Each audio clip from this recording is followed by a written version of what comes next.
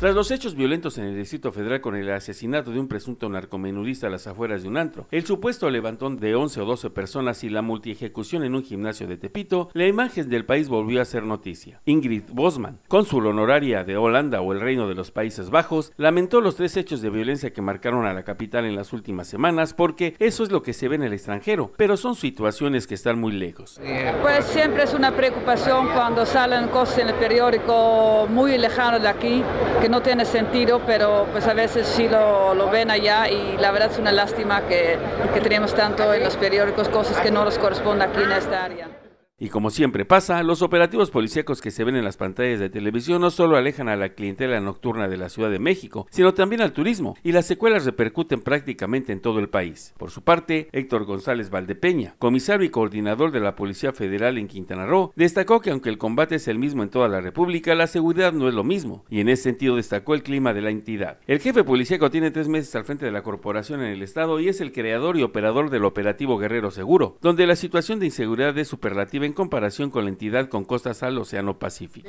Donde estamos este, trabajando este, muy coordinadamente todas las instituciones que nos dedicamos a la seguridad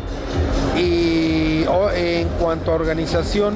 y operación, sí es la misma tanto en Tijuana, Mérida eh, o en el caso que usted pregunta de Guerrero y Quintana Roo, más las situaciones de seguridad pública son totalmente diferentes. El comisario coincide con la diplomática holandesa en que aún no se generaliza la focalización de hechos violentos y para el extranjero una ejecución en Tepito, Tijuana o Acapulco es México y Cancún es la marca más conocida del país. Detrás de la cámara, Giovanni Tamayo. En el micrófono, para Notivisión, Carlos Águila Arreola.